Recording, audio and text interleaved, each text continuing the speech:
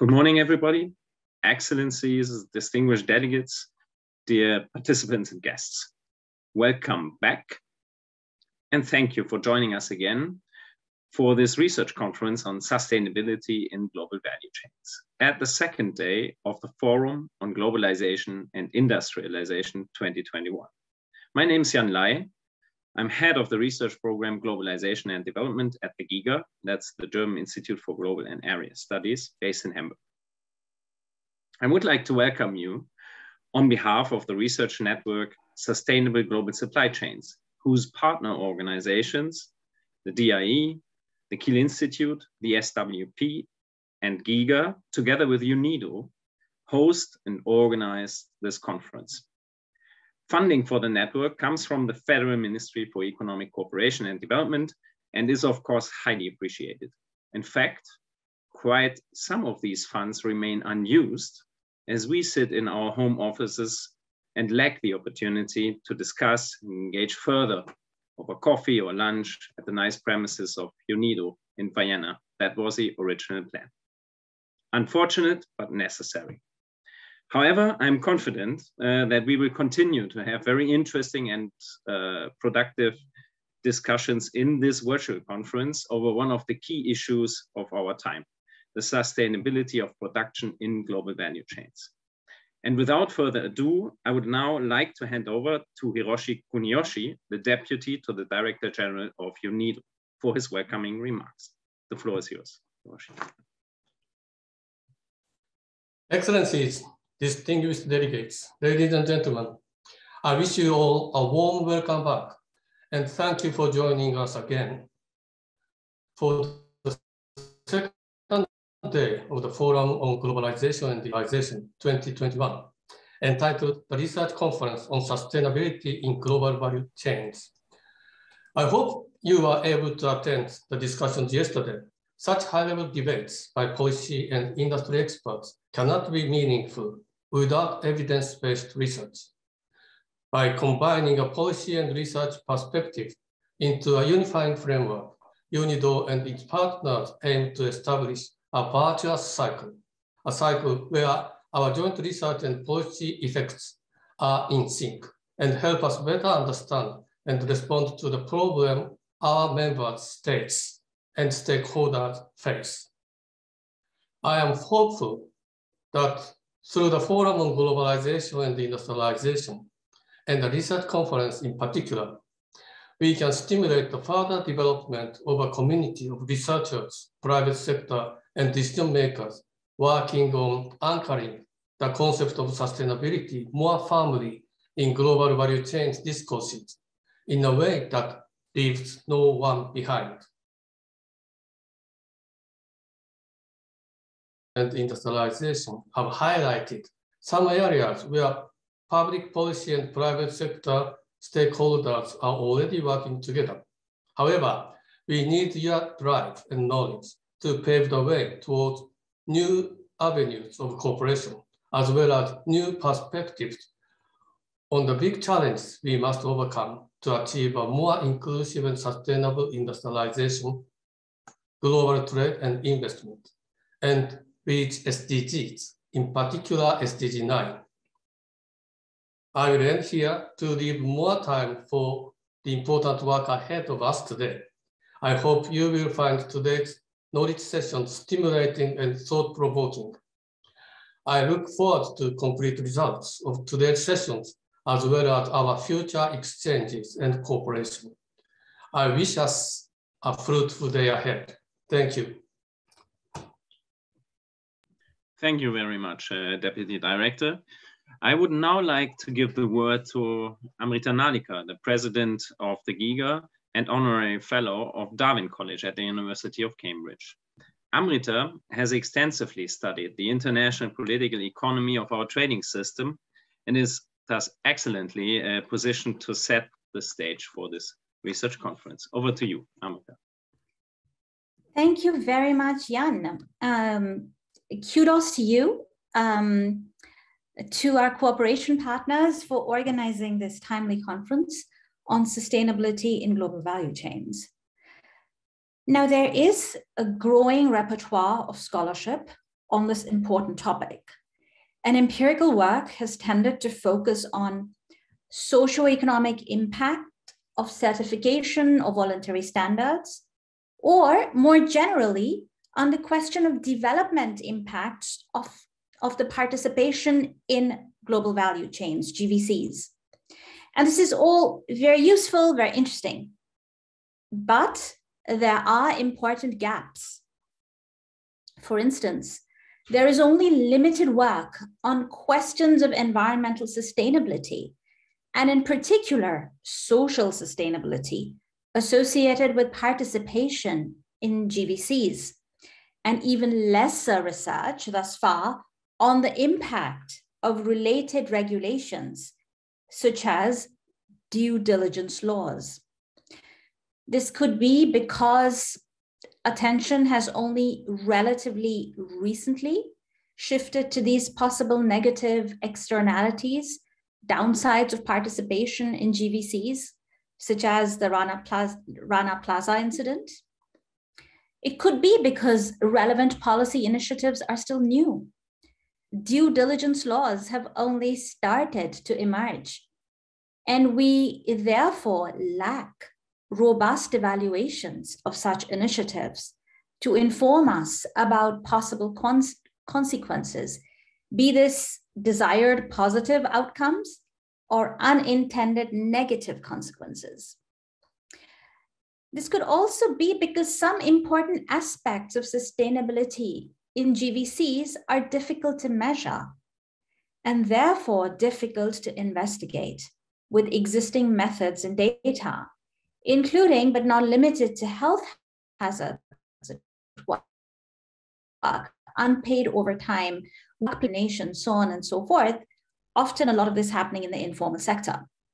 And so this conference is really at the cutting edge, and it's taking an important step in addressing some of these crucial gaps.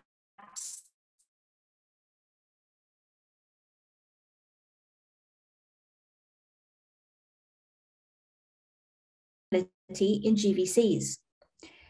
Its agenda fits nicely with the GIGA's global approach, which combines in depth area expertise with comparative interdisciplinary and multi level analysis and generates insights from the experiences of the global south that are relevant from both an academic and also policy perspective.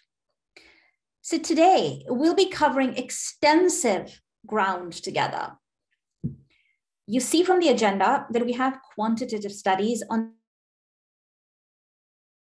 the environmental impacts of GVC participation, and we will hear about the environmental performance of farms and countries integrated in the global economy through GVCs we will have presentations on the reaction of global value chains to global shocks, to crises, including COVID and MERS. And we'll be looking at the recent French law, due diligence law on trade and farm performance. One session today will focus on specific actors in GVCs, such as farms and households, to understand the consequences of participation in these global supply chains. We have some interesting, innovative micro work at this conference. And this is an area where we, where we will be seeing more work, exciting work, also in the near future. The qualitative studies on the program provide nuance to specific aspects of sustainability and value chains. So, one broad theme is the governance of GVCs and how such governance links to the economic and social upgrading of actors in GVCs. We will see presentations on GVC governance in specific sectors, including agriculture, electronics, and the textile sector. These studies also provide a spotlight on some upcoming trends that may impact the organization of GVCs as well as how they can be designed sustainability. So for example, we will hear about new technologies such as Industry 4.0 and blockchain. Now, naturally, we won't come up with all the answers that we need today, but we will address some tough questions and hopefully also stimulate further research on sustainability in GVCs in the future. To kick off today's deliberations, we have Professor Paola Conconi delivering the keynote lecture. So without further ado, let me hand the floor over to Professor Holger Görg, who will be moderating this exciting keynote plenary session. Over to you, Holger. Thanks, Jan. Thank you very much, Amrita, for these very thoughtful and thought-provoking um, remarks on our conference. And yes, it's a day to look forward to. I think we're going to see a lot of uh, very relevant research addressing a number of the points you highlighted uh, in your in your welcoming remarks. So thanks for that. And yes, it's my pleasure now to introduce and to moderate this session, uh, to introduce Paola Conconi and to moderate this session. Um, Paola is going to give the keynote speech on the topic of trade protection along supply chains. Um, and Paula is a professor of economics at the uh, Université Libre de, in Brussels. And she is also a research fellow at the CEPR, Center for Economic Policy Research, and there at the International Trade and Regional Economics Program. And she is the director of the CEPR Research Network on Global Value Chains, Trade and Development. Paola is an international expert on global value chains and international trade and trade policy more generally. She has published extensively uh, on these issues, and she's done a lot of relevant and interesting research in the last years. And Paola, without much further ado, over to you for your keynote lecture. Thanks a lot. And just in term, just uh, in terms of timekeeping, we have one hour for this keynote lecture. Um, so if you have any questions, um, use the chat function or the Q&A function and we'll have time at the end yeah. Uh, to discuss. Yeah, very happy. First of all, thanks a lot for the invitation. I wish we could have all been in Vienna, but I am very happy to be here and I'll try to follow other sessions today. It's uh, my lecture is not going to be necessarily on sustainability. It's more about trade policy and how it affects global supply chains. But uh, I think the topic of sustainability, the various questions that were just mentioned, I think are super important. And in fact, part of my team here in Brussels is working on related topics. Anyway, let me first uh, try to see if I can share my screen. I guess so. So let me see if you move, see also the share, the um, slides moving because sometimes, uh, do you see my slides moving? Yes. Yeah, perfect. okay, cool. So thanks a lot. First of all, feel free to interrupt me. I think I you can you can also just unmute yourself and ask clarifying or other questions along the way. I always find it more uh, more interesting and more engaging for everyone. So the, the paper that I'm presenting today has been an ongoing project, something that I've been working on for now the last two, three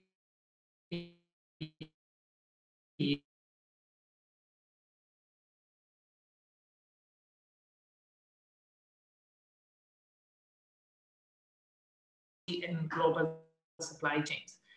Uh, so the, the broad motivation for, for our project is the rise of China in world trade. If you look at uh, the last few decades, China went from accounting for less than 1% of world exports around 1990 to now being the largest exporter in the world um, by a long margin and for several years already. So this rise of China and the increased import competition from China has, of course, stimulated a, a, very heated debate, both in academia and policy circles, about the impact of increasing competition import competition from China on jobs. And in particular, a lot of influ several influential studies like this Autor Dorn and Hanson AER paper or this other paper on ER by and Schott. These are all papers that have looked at the employment effects in the US of increasing import competition from China, and in particular found large job losses in manufacturing due to this increased competition.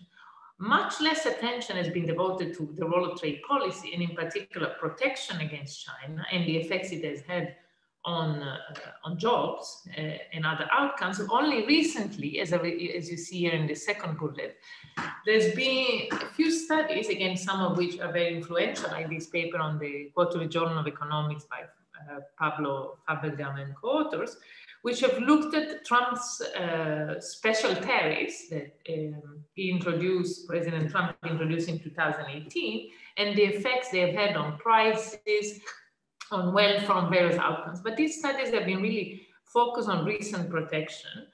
Uh, and, uh, and indeed, the title of Fajgelbaum et al. was uh, Return to Protection. However, when you actually start looking more, you know, take a longer perspective on US trade policy vis-a-vis China, you see that uh, Trump's tariffs were by no means a return to protection, but were an increase, a further increase in protection because China had already been the target of uh, high protection by the United States for a long time. In fact, if you look at between 1988, which was uh, the start of uh, Bush senior presidency, and 2016, which was the end of President Obama's second term. So during these seven presidencies, average US anti-dumping duties, which are the most frequently type of trade barrier used by the US and other countries, more than tripled. And here's a picture to show you that. So if you look at anti-dumping duties on average that the US applies on Chinese imports, you see that there's been this dramatic increase well before Trump. What you see here in red is uh, anti-dumping duties under Trump, which have further increased, and other barriers, you know, other measures have been introduced, like Section 301, etc. But but there was a lot of action uh, already before. And this is not only in terms of the level of protection, which you see here, but if you look at, for example, the share of Chinese imports that are sub have been subject to anti-dumping protection, again, it has more than tripled during this period. So what, uh, and I'm actually, I'm sorry because this is, um, I'm showing you, but it's now too late, the, the version of my slides without the, bullets coming one by one. So you're gonna get the full slide, which is not what I meant, but nevertheless, uh, it may be more efficient in terms of time. Nevertheless, so the broad motivation, so the broad concern of this protection is of course that it may hurt uh, it may hurt producers, particularly producers downstream. So if you look at this quote from The Economist, this is a quote in which uh, the CEO of the Bicycle Corporation of America is complaining about tariffs on key inputs, bike components, steel and aluminum, which have raised production costs for his industry.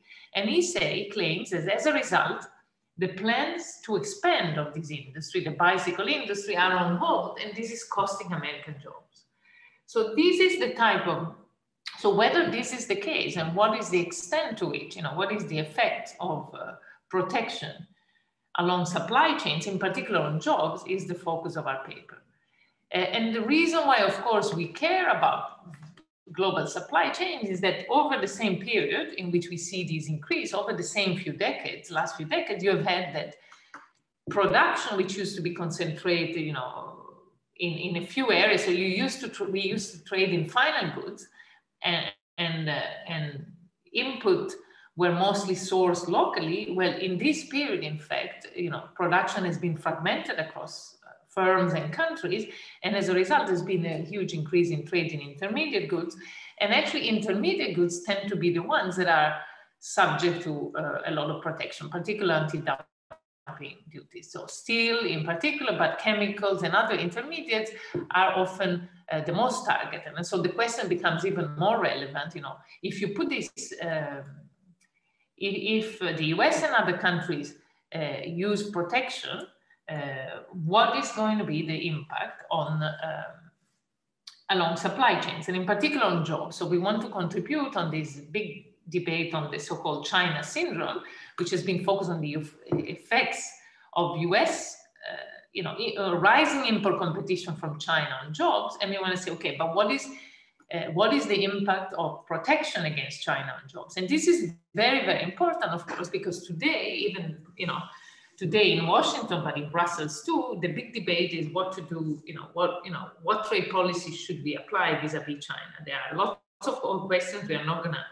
address them all, but this, you know, at the end, I'm gonna go back to the policy implications, which are gonna be very relevant, as I said, for ongoing debates in, on both sides of the Atlantic and elsewhere about how to best, you know, deal with China. Uh, and, and as I said, you know, we could spend a whole day discussing re reform of the WTO, lots of important issues, but you know, I think this paper is going to have something to say about that.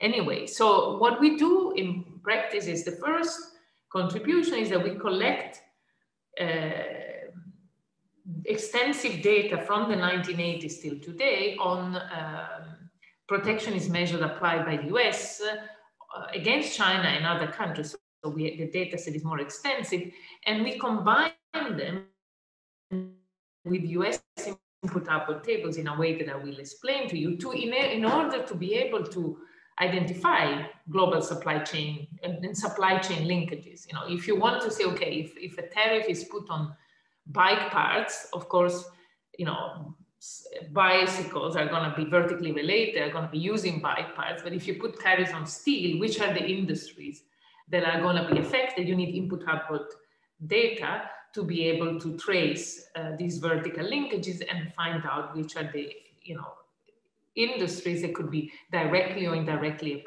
exposed to trade policy. So once we, um, uh, so once you have the data, you know, you could say, okay, we, you can just simply look, uh, run simple OLS regressions in which you study the, you know, you put trade policy on the right hand side and you look at employment growth on the left.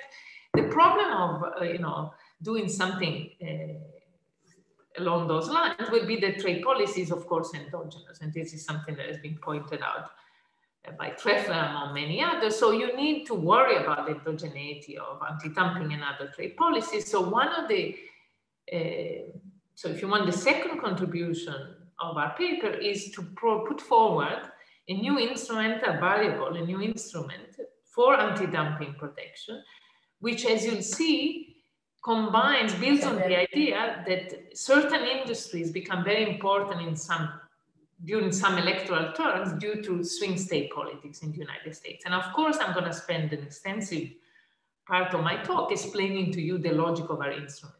And so through using this instrument, we can then look at causal effects. So because we can exploit exogenous variation in uh, trade protection, and then eh, identify the causal effects of protection on jobs in both vertically related and, uh, and directly expose the industry. And what we find, and this is just a summary of the main results, is that on net, the effects of job is negative, and actually there's a sizable negative effect on for the US economy as a whole of, of protection against China, what, what anti-dumping protection does is it decrease employment growth in downstream sectors along the lines of what the, the, the claim on, from the economists was. So you, if you look at industries that use the protected uh, inputs, employment growth in those industries is significantly uh, decreased. And we don't find any positive effects in directly exposed in the protected industry and in industry upstream of those.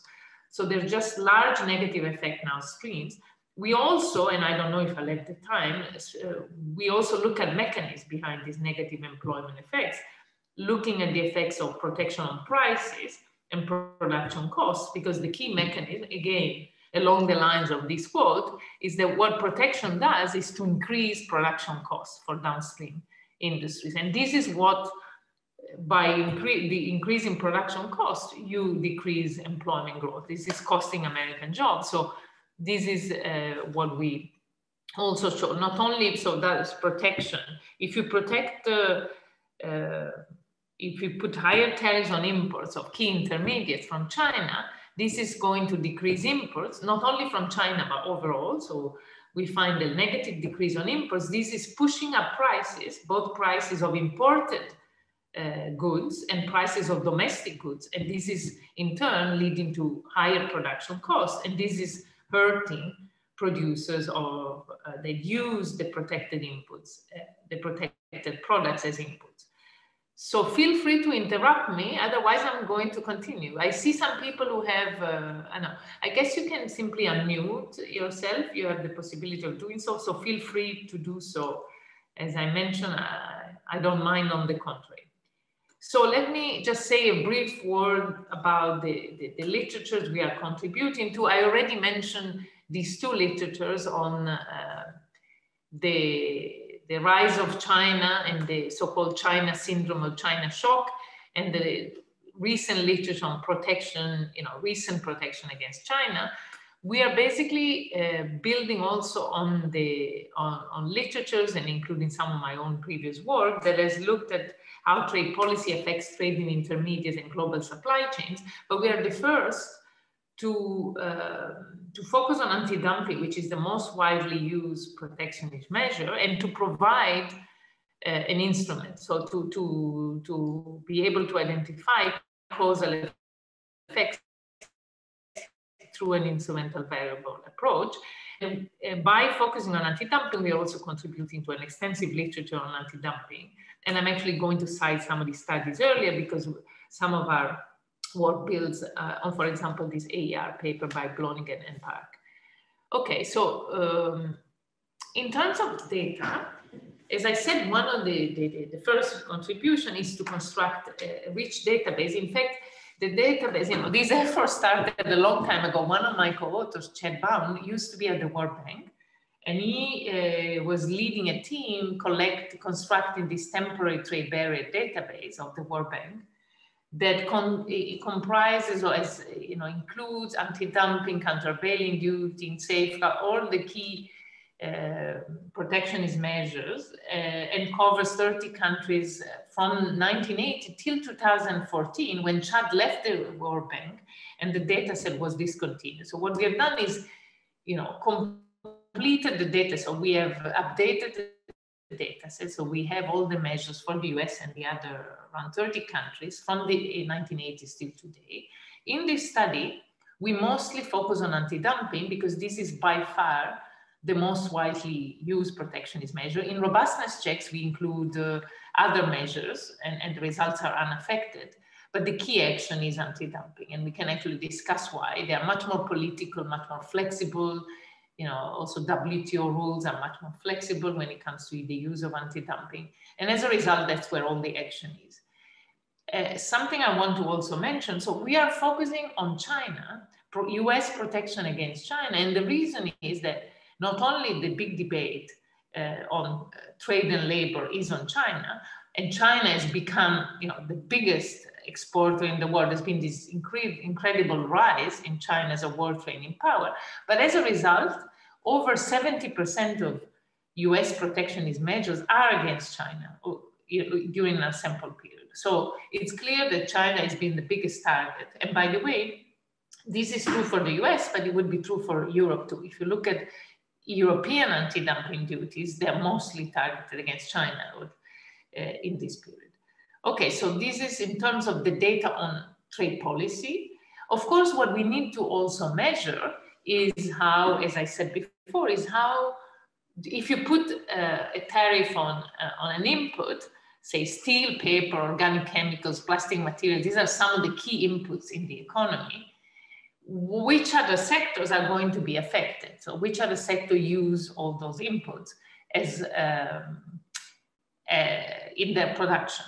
So what we do is to use data from the Bureau of Economic Analysis in the US, which is very disaggregated. So it provides information of input-output linkages between 479 industries. Some of you uh, who are working on global supply chains may, may be used to uh, WIOD, so the world inputable table. This is much, much more aggregated. It has around 14, if I'm not mistaken, manufacturing industries, the beauty of the US input-output tables is much more disaggregated. And this is key because trade policy is really uh, very disaggregated. In fact, we will already have measurement error or measurement issues because we are aggregating from trade policy, which is at really at the product level to industries these 417 on one SIC for industries, which are more aggregate than trade policy. And I'll, again, I'll go back to these uh, later. But nevertheless, we are able to go quite finely. We are, we are able still to look at the SIC 4, which is much more disaggregated and a lot of studies. Uh, they use uh, broader input-output tables. So here is just the, the definition of the variable. So this is how we construct combining data on tariffs and data on input-output linkages, how do we construct measures of exposure to trade protection? So the first one is a very simple one, is the direct tariff exposure. If you look at an industry J, take uh, you know the example back of the economists earlier, the bicycle industry being J, in year T, the exposure to tariffs is simply uh, the average duty in that anti-dumping duty against China uh, applied by the US in, on imports of industry J. So that's simply average tariffs in that industry. When you want to look at instead along supply chains and you want to say, okay, what is the exposure by an industry to input protection? So that's what we call downstream tariff exposure. This is the exposure of the downstream industry. Now you're looking at the bicycle industry as a downstream industry. And what the way you construct this is to look at from input output tables, what are all the industries I that are inputs, uses inputs in the production of J. So for example, bicycle parts, steel, aluminum, all of these. And you, as this is basically a weighted average of the input tariffs with where these omega ij's are the coefficient that the input output coefficient, the cost shares from that tell you how important, if you want, is input how I in the production of J. And similarly, you can construct an upstream tariff exposure using total, uh, you know, the share of industry J's uh, sales in the production of ice. So this is very standard. So there's nothing very fancy, but we do also, this is our baseline measures. We do a lot of robustness, uh, for example, weighting by uh, import penetration ratios. I mean, I don't know how many of you are working on trade. I, I'm, I'm feel free if you want more details. I'm not, I'm not gonna go into too many details because I think the audience uh, may get bored. I may also run out of time and we may want to spend maybe more time on, on the, given the audience on some of the policy discussions at the end. So the, as I said, once we have the data, and we have, by the way, much more data than, uh, than uh, what I've said here. So we also construct, collect data on imports, collect data, of course, on employment uh, from various sources or prices that we are going to use in our analysis, but these are the main data set, the data set on tariffs and the data on input-output linkages. Uh, okay, so once you have uh, uh, these measures, as I said, you could in principle say, oh, I'm just gonna run simple OLS in which I study, I collect data on employment at the industry level and I look at how an industry's employment growth is affected by you know, direct uh, and indirect tariff exposure. The problem with, uh, with these, uh, with doing so is that again, these protectionist measures are not falling from heaven. They are, they are endogenous. And in particular, there are certain, uh, you know, certain variables that would shape, that shape trade protection. They could also be correlated with employment growth, both in the same protected industry and in vertically related industry. And as we argue in our paper, and as we actually show in empirical analysis, if you simply run OLS, OLS regression, ignoring the endogeneity of trade policy, you will actually have a hard time identifying negative effect of protection. The, the estimates will be small and often not significant. While, uh, and again, this is in line with the idea and that there are omitted variables that would be correlated with both protection and, and, and uh, employment growth that actually work against uh, you being able to identify this negative effect. Again, if you interrupt me, we can go and discuss examples of these omitted variables that will, cre will create a problem. But the general concern anyway is that ignoring endogeneity will give you bias estimates. And what we argue here that the uh, estimates will be biased in a way that will tend to underestimate the negative effect of uh, protection on downstream industries in particular. So what do we then do? Well, we do what many people do in, in uh, these days, which is to use a shift share identification strategy. So to construct an instrument that combine, com, com, uh, if you want, shifters, so, so a set of exogenous shocks, which are usually called in jargon shifters, and differential exposure to, of these uh, across industry to these shocks uh, as measured by shares. This is, for example, used a lot in the China shock uh, in, in, literature, uh, where, for example, the AER paper by Autor Dorn and also, but you know, many, many other papers, not only in trade, but in labor, in development. This is a very broad uh, strategy. In our case, the novelty is that our instrument is going to exploit political shocks in the United States. And what are these political shocks? These are going to be changes in the identity of swing states across electoral terms. And I'm going to spend time in the next few slides explaining to you uh, why we think this is exogenous, why do we think it matters, and showing you that, uh, that these, uh, combining these exogenous shocks, which uh, you know, capture changes in which states are politically important over time, with uh, heterogeneous exposure to these shocks across different industries allows us to predict variation in anti-dumping across industries and over time. And then we, and, and this is going to be exogenous variation, which we can then uh, exploit to study causal effects of tariffs uh, along supply chains. Uh, for those of you who are into these, uh, you know, I probably will skip, but you know, a big debate there are lots of debates about these shift share instruments. And, and I think an important uh, concern comes from the, possi the possible endogeneity of the shares. And so what we are doing is actually some of the most recent robustness check. This is, for example, uh, this uh, recentering of the instrument the et al.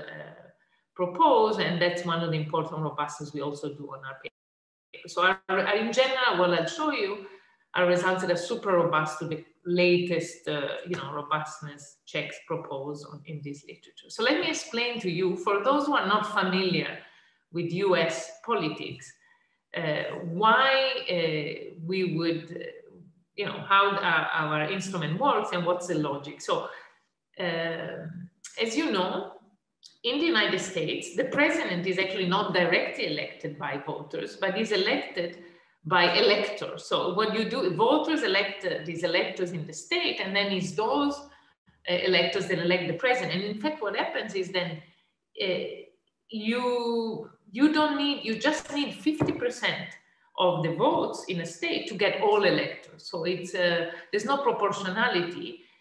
It's a strange electoral system whereby you just need, as I said, as a candidate, if you're Biden and you get 51% uh, of votes in California, you get all elected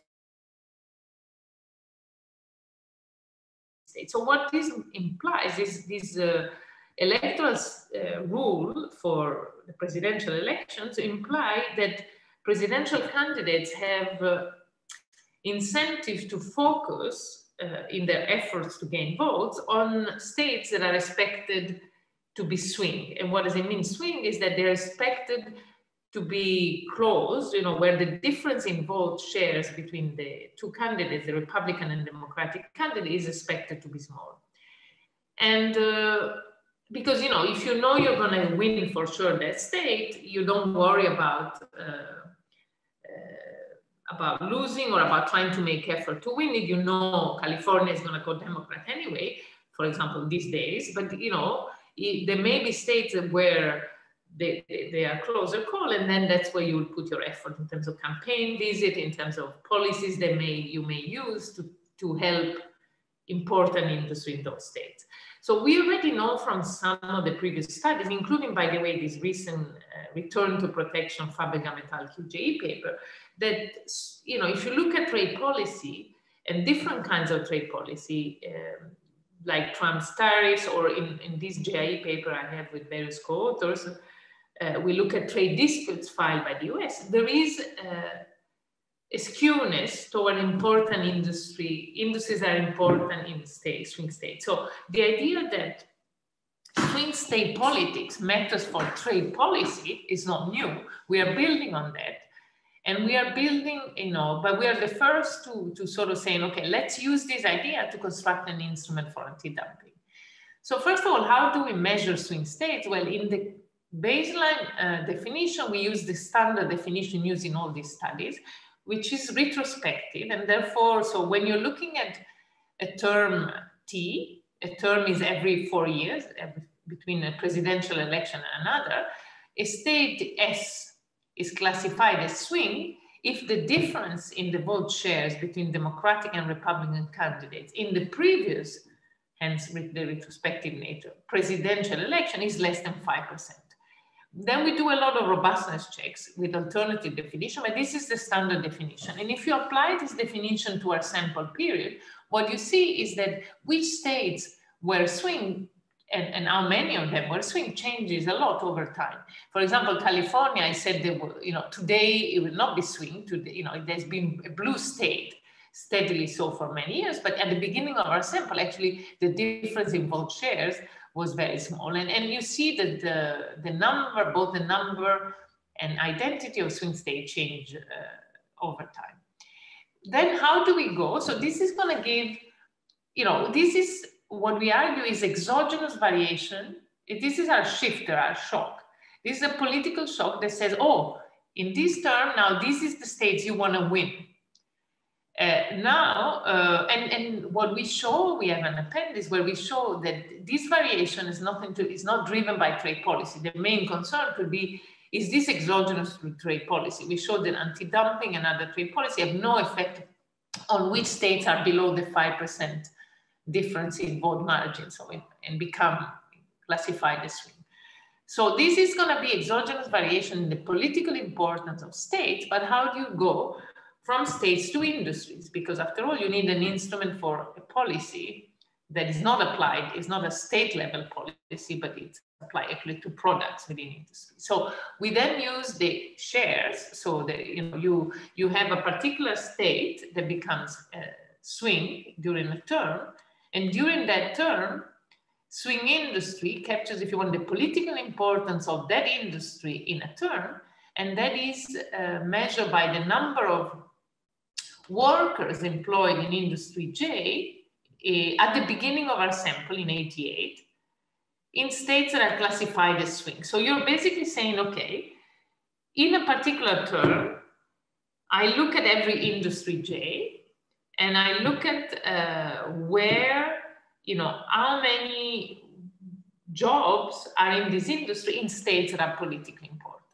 And, and this is going to capture the time varying political importance of industries. And the variation is not going to come from employment shares that are fixed at the beginning, but is going to come from changes in the identity of swing states. So when, for example, Pennsylvania becomes swing, uh, well, since a lot of steel is concentrated in Pennsylvania, then in, in, in a term in which Pennsylvania or Michigan or uh, states in which steel is concentrated are swing, then uh, this variable will, uh, will increase for swing. Or when, uh, you know, Florida was swing at the in 2000, if I'm not mistaken, then say shrimps or crawfish or all these uh, industry that Florida in which there's a lot of employment in Florida will become, you know, this will increase, this, in, this swing industry will increase uh, for terms in which Florida is swing. So you have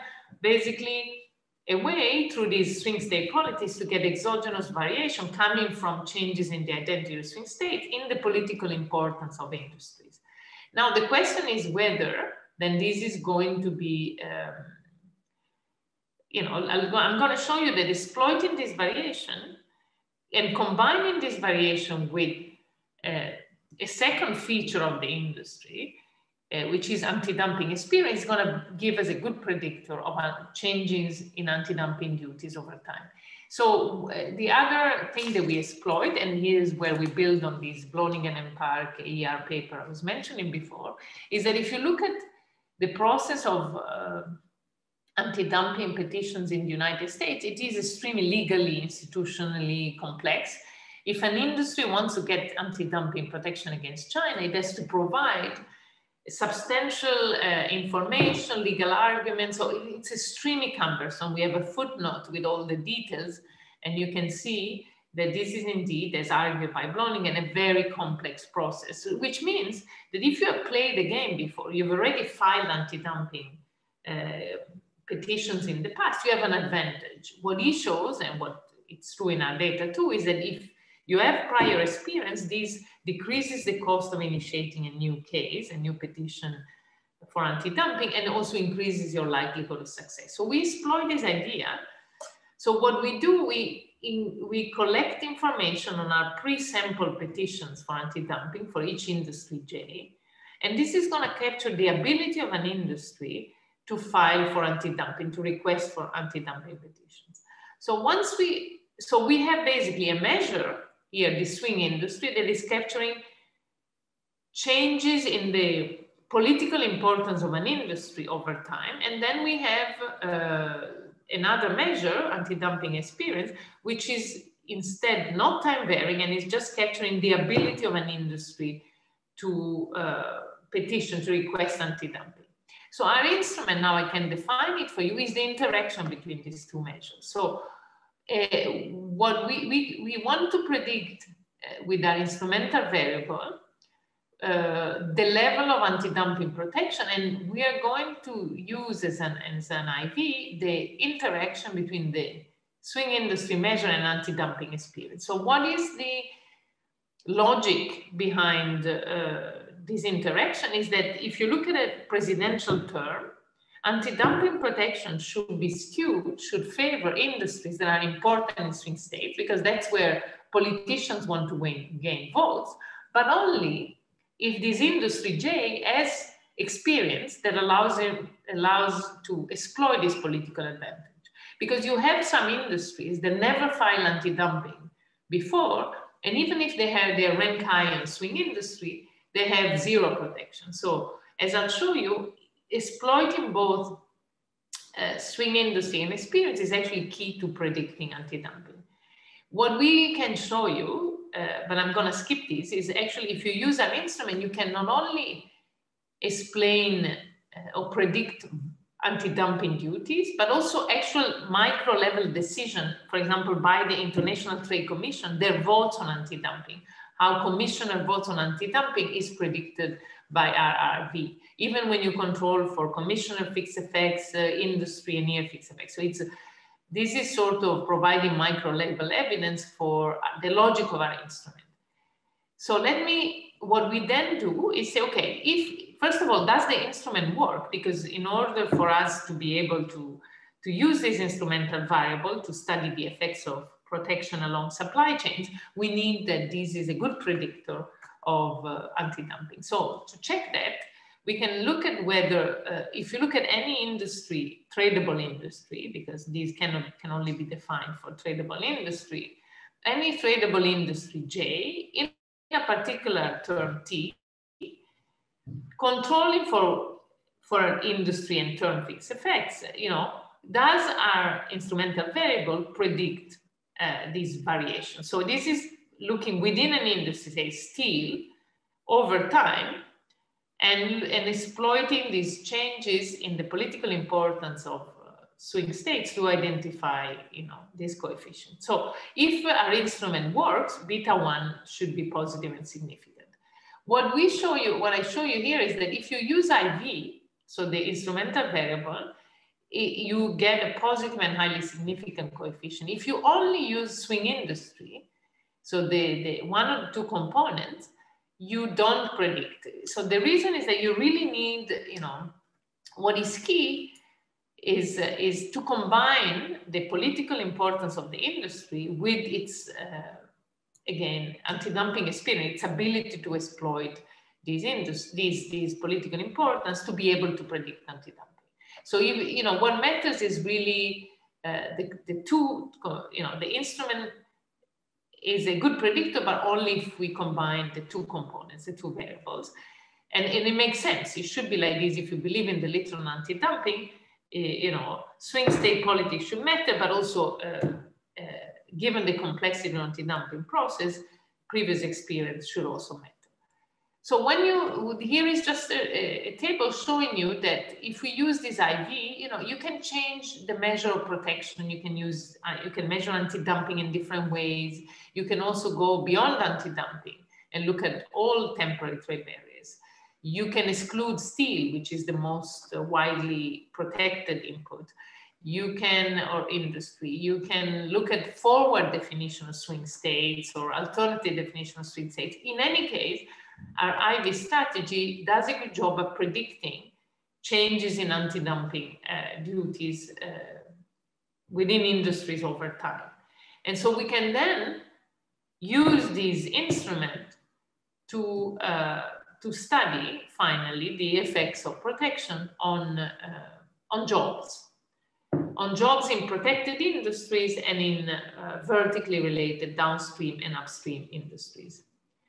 So when uh, I'm, I'm sorry uh, for for all these. Uh, for I don't think there's many equations after this. Again, I don't know. I think this is a, a mixed audience. Some are, are, probably economists and some are not. But uh, hopefully, you want you know you can bear with me. And again, feel free to interrupt if something is not clear. So this is the main regression that we, to least stage risk square regression that we run to study uh, the effects of protection along supply chains. This is very similar in spirit to uh, what Acemoglu and co-authors have done in their own study on, so what Acemoglu et al. do in the Journal of Labor paper is to study the effects of increased import competition from China on US jobs, both in directly competing industries those that are directly competing with imports from China and those that are upstream and downstream. So we are running very similar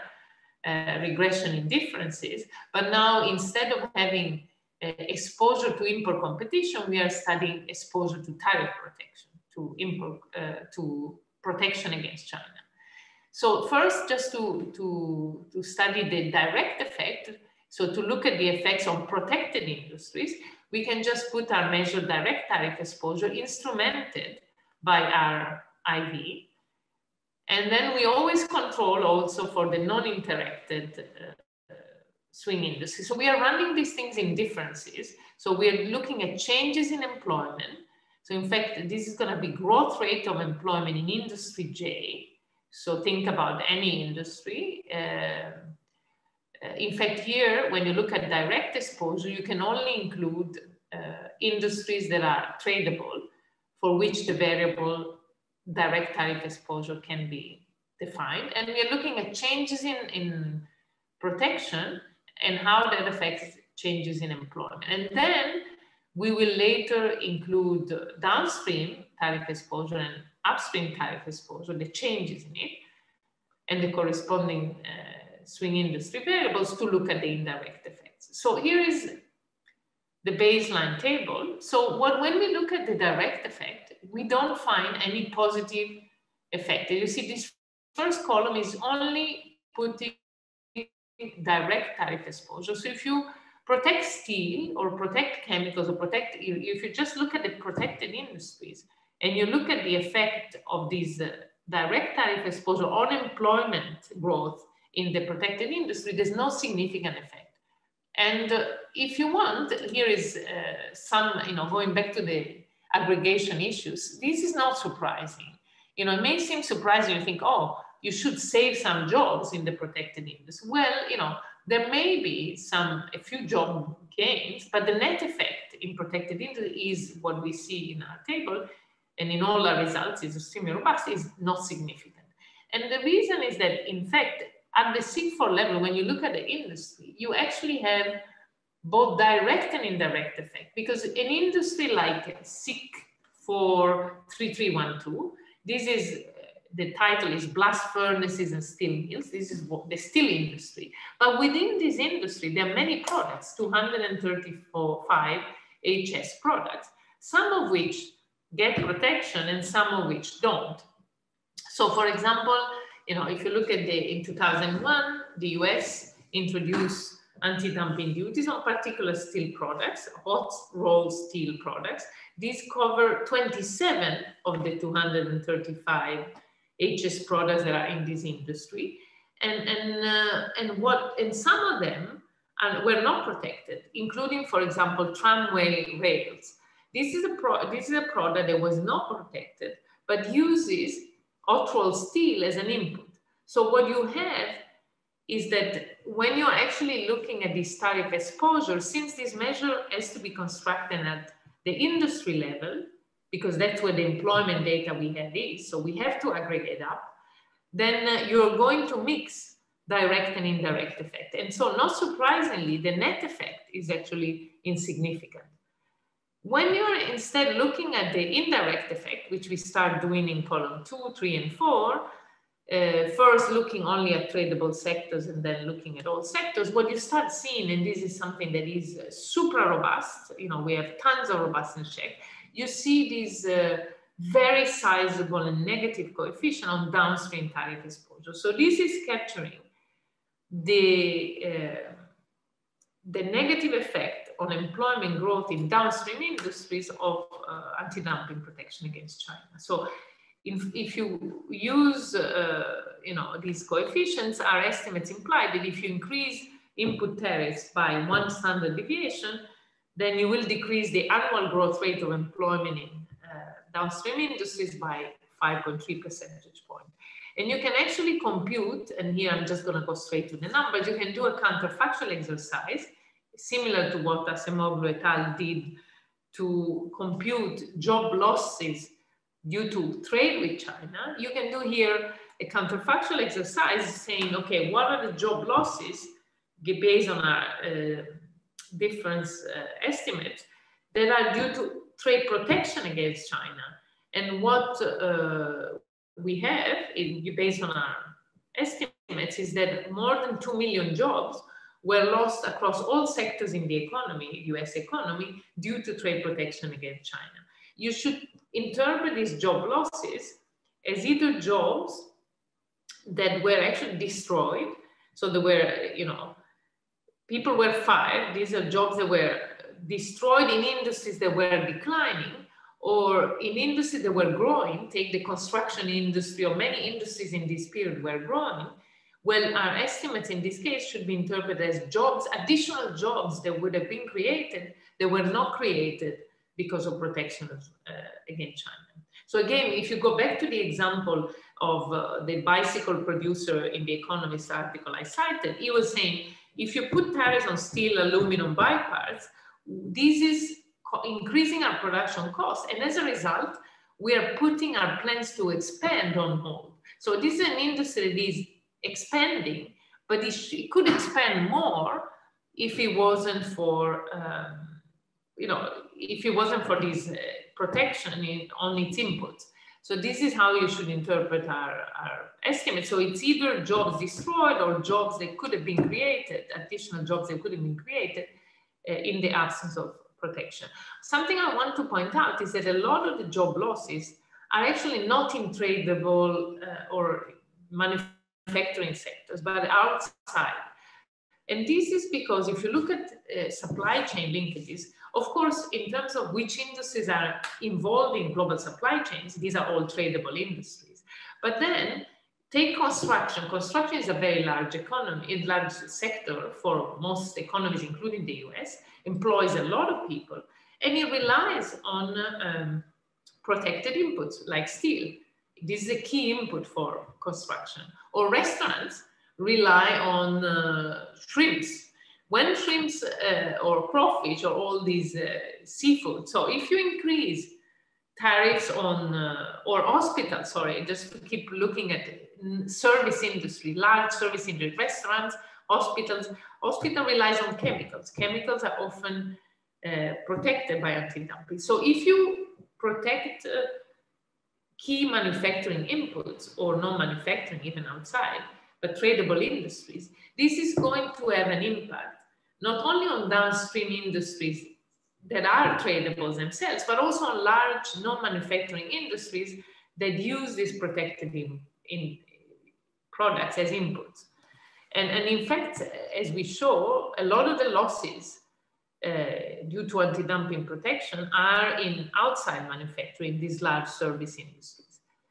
Here, uh, again, since uh, this is not a technical presentation, I'm going to skip this important robustness check. But for those of you who are economists who are working on shift share instrument, this, uh, this is actually a very important robustness that I think everyone should do. So we very much worry that our main results could be driven by non-random exposure to the shock. So the fact that our shares, employment shares, experience shares could be correlated with characteristics, you know, could be non, you know, could give us non-random exposure and omitted variable bias due to that. And I think the beautiful paper, which is almost uh, published on Econometrica by Borusyak et al., provides a way to deal with this concern by basically randomizing the, uh, the shocks. And so that's what we do. We apply their methodology and what we find uh, is basically uh, results that are very similar. Again, big losses in downstream industries and no, um, and no gains anywhere else. So we also worry about the exclusion restrictions. So the fact that uh, what we are picking up through our instrument may be not the effect of anti-dumping, but the effect of other policies that could uh, be used to favor important industries in swing states, and in particular subsidies.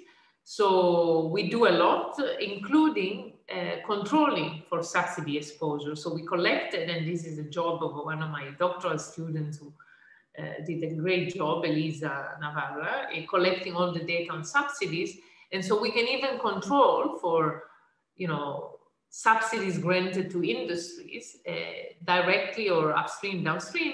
And again, our result, our main result, which is this very negative downstream uh, tariff exposure coefficient is always robust to that. And we have tons of other robustness, including controlling for more tariffs, extending the analysis to Trump, which only makes these numbers of losses bigger, and other more technical robustness, which I will skip. We also combine our instrument with the instrument of Autor, Dorn, and Hanson to, to look jointly at the job losses due to import competition from China and trade protection against China. So here we are redoing what Acemoglu et al. do uh, in their paper, we even use the same fixed effects, the same time period, everything. And since the two instruments are not correlated, we can actually combine them. And what we see is that we get back their number. 2.3 million jobs were lost due to import competition from China. So these are job losses in directly exposed industries, industries that were competing with imports from China. There were, there were job losses there, but there are additional job losses, almost a million, in based on our counterfactual that are um, due to protection against China. And this leads me to uh, maybe the policy implication. Let me skip the mechanism and let's go back so that we can have more of a debate about uh, the implications. So what, what our analysis shows is that uh, if you carefully measure protection along supply chain and deal with endogeneity, or of protection using an instrumental variable approach, what you see is large negative effects of protection on employment growth downstream and no job gains uh, in other sectors. So, you know, if you want, in, in, in very recent years, you know, there's been a very, uh, you know, important backlash against globalization, trade, but, you know, more generally, I would say globalization. And in fact, politicians in, in, uh, in Western countries or advanced economies have, have actually pointed the fingers at China as being the culprit, the cause of, uh, in particular, decline in job losses in manufacturing, or all sorts of bad things. And in, but in particular, there's been this focus on job losses and how China has been responsible for the job losses. And, and I think the, the temptation, and in fact, something that many, many you know, governments have done is to increase protection against China. However, what our paper shows is that, you know, rather than fostering uh, employment growth, politically motivated protection uh, in the form of anti-dumping, which is by far the most widely used protectionist measure against China by the US and any other country, is actually giving rise to additional job losses. And this is actually very much in line with what you know you hear businesses in the US are currently, I mean, this was this summer, there was a quote from the FT, but this is a letter, actually, no, it's a quote from a letter that, you know, all US businesses, large businesses, industry association, they all called on the Trump administration, on the Biden, sorry, administration to change the policy, trade policy against China, which so far hasn't happened, to mitigate significant and ongoing harm of protection against China on the US economy and US workers. And again, they say due to tariffs, US industry face increased cost to manufacture products and provide services. So this is exactly what we show. So we show an increase in production costs and, and a decrease in employment growth in line with these quotes and the quote I gave you before, which again suggests that trade protection is not the, the policy to use if you want to save jobs. Uh, and uh, you know, let me maybe uh, skip these and so that we have more time to, to debate uh, or, you know, or for questions if you have any. and I have lots of, uh, you know, I can go much more in detail if you're interested for those of you who are more interested in the um, yeah, in the details, I have a lot of slides that I can go deeper into, into those, of course. So yeah. Okay, thank you very much, Paola, for this really insightful and also entertaining uh, presentation. And I think it really sets the scene for today quite well, looking at the impact of trade policy, which was also a topic uh, that was discussed yesterday. Uh, a couple of questions have come in. Um, and let's start with those. And otherwise, if you have further questions, uh, either use the uh, Q&A or chat function or also raise your virtual hand. We can then allow you to, uh, to participate. Um, one question that has come in concerns the exogeneity of your instrument. Um, and you did briefly mention this, but only in passing, really. And the, the question here is really, um, well, uh, how about the reverse causality? So trade policy does uh, change voting behavior. We know that from a number of studies for the US, uh, for other countries. Um, and uh, I mean, that could potentially make uh, states swing states. So um, yeah, yeah, yeah. How would you respond to that? We, we worry about it. Although, I mean, so we, let me, you still see my screen, eh? So let me go to these, uh, Okay, so I, I, I by the way, yeah, I have a lot more that I think could be interesting, but I'm just going here. So when you look at so when you look at changes in anti-dumping, you can take anti-dumping duties and construct measures at the state level. So you can look at changes in anti-dumping protection granted to a state. You just use the shares of employment and you can go to a state level measure of anti-dumping protection, a state term. What you see is that anti-dumping protection does not, uh, so wait, eh? so the dependent variable is uh, identity of swing states. You can look at the identity or changes in the identity is not affected at all by changes in anti-dumping protection. And similarly, because there was, I presented this paper at Columbia and I was just showing the first column and robustness. This is also very robust, but you know, I think it was Eric, um, uh, oh, come on, the guy who works on quality, Eric. Uh,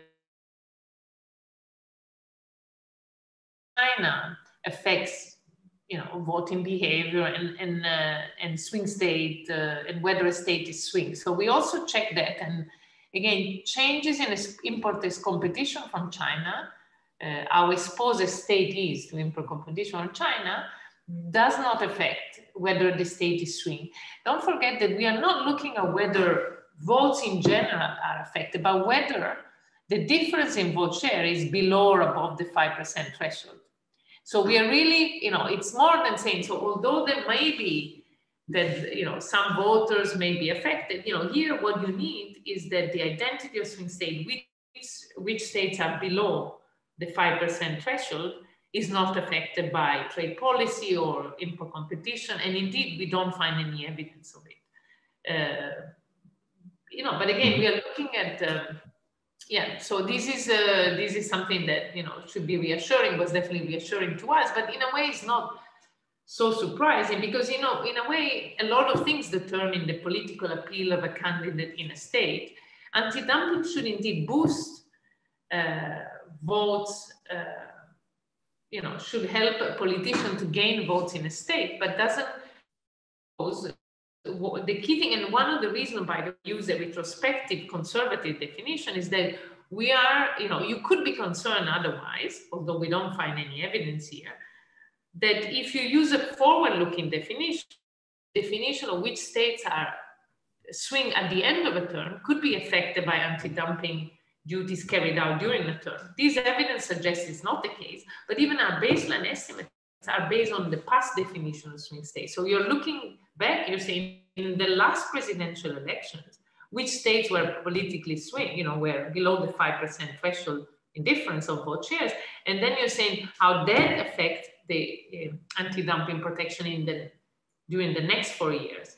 So I think endogeneity, both, you know, this regression and in general, the fact that we use a retrospective definition of swing state, uh, reverse causality is, is not a concern. Could have been, I think if we use forward definition and if this turned out to be, you know, this coefficient turned out to be significant, but I don't think it is, uh, yeah, I don't think it is in, in, in our data. And again, you know, you are, you should think that, you know, this variation, if you go, go back to the picture of which states are swing,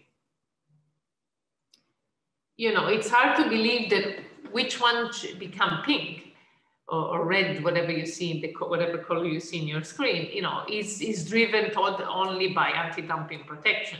Indeed, we find this is not the case.